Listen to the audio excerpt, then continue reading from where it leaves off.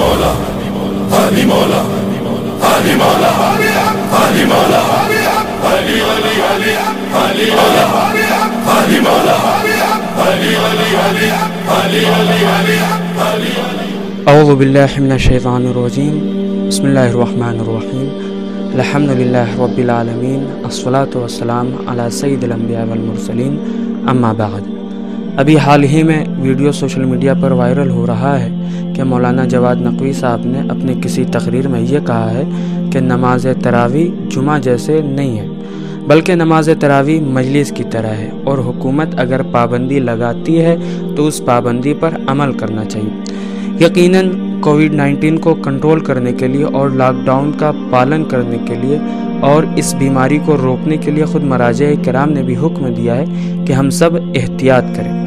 اور اجتماع سے پرہیز کریں۔ اس میں کسی کو شک نہیں ہے۔ جواد نقوی صاحب کی خدمت میں یہ عرض ہے کہ آپ کسی اور انداز میں بھی کہہ سکتے تھے کہ حکومت کے تعاون کرتے ہوئے مراجع کے فرمائشات کو مانتے ہوئے ہم اجتماع سے بچیں گے اور مجالس کو آن لائن انجام دیں گے۔ اور اسی طرح سے دیگر فرقے کے لوگ اپنی تراوی کو، دعاؤں کو انجام دے سکتے ہیں۔ لیکن اس طریقے سے آپ کہیں کہ مجالس اور تراوی ایک جیسے ہی ہیں، نہیں۔ اس لیے کہ عین النجاسات و عین المتحرات، عین الحق و عین الباطل عین البدعات الزلالہ و عین سنت و حسنہ کہاں نجاست اور طہارت، کہاں بدعات الزلالت اور کہاں سنت خدا؟ مجلس اعضاء اقرب القربات اللہ ہے مجلس اعضاء و مجلس اہل بیت اقرب القربات اللہ یعنی اس سے بہتر اللہ کے نزدیک ہونے کا اور کوئی ذریعہ ہی نہیں ہے۔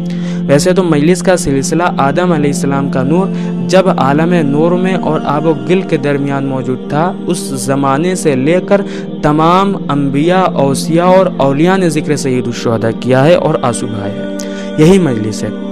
لیکن اسلام آنے کے بعد رسول خدا نے اپنی تمام ازواج کے گھر میں مجلس برپا کی۔ مرحوم علامہ امینی کی ایک کتاب ہے، سنت نہ سنت رسول اللہ۔ ہماری سنت سنت رسول خدا ہے اور یہ بیان کیا ہے کہ تمام ازواج کے گھر میں رسول خدا نے ذکر مصائب و فضائل امام حسین علیہ السلام بیان کیا اور گریہ کیا۔ بحث اس سے ہے کہ مجلس ایک عنوان مقدس ہے۔ مجلس ایک ایسا عنوان ہے جس کے اندر عالم بالا اور عالم قدسی کے روحانیات شامل ہوتی ہیں۔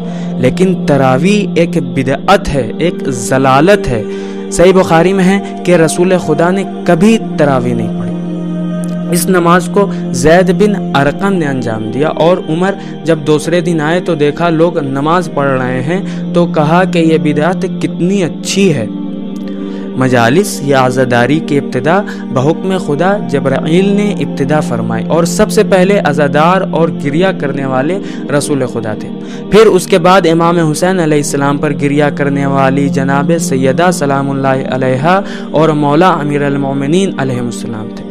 اور اس کے بعد باقی تمام ائمہ علیہ السلام نے مجالس حسین کو برپا کیا اور ان کے علاوہ خصوصاً حضرت زینب سلام اللہ علیہ، حضرت ام کلثوم سلام اللہ علیہ نے اس میں بہت ہی زیادہ اہم کردار ادا کیا۔ یہاں تک کہ امام زمانہ علیہ السلام فرماتے ہیں، امام حسین علیہ السلام کے مصائب کے لیے کہ، اے میرے جد امام حسین، میں آپ کی نصرت نہیں کر سکا۔ زمانے نے مجھے مؤخر کر دیا۔ میں آپ پر آنسوؤں کے بدلے خون سے گریا کرتا ہوں۔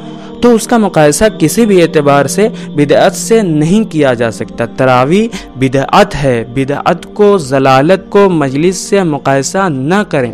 پورے دنیا کے شیعوں کو ٹھینس پہنچی ہے۔ مجلس اہل بیت دعا بی بی زہرا ہے۔ مجلس میں ذکر امیر المومنین ہوتا ہے جو کہ عبادت ہے۔ زین المجالس کم بذکر علی ابن ابی طالب۔ مجلس کے اندر ذکر عبادت و طاعت ہوتا ہے۔ تراوی کے اندر صرف اور صرف گمراہی ہے۔ لہٰذا خدا آپ کی ہدایت کرے۔ ہو کہ آپ کی نظر میں تراوی اور مجلس ایک جیسی، لیکن اہل بیت اور اہل تشیع کے نزدیک تراوی ایک بدعت، ضلالت و لانت ہے۔ والسلام علیکم ورحمۃ اللہ وبرکاتہ۔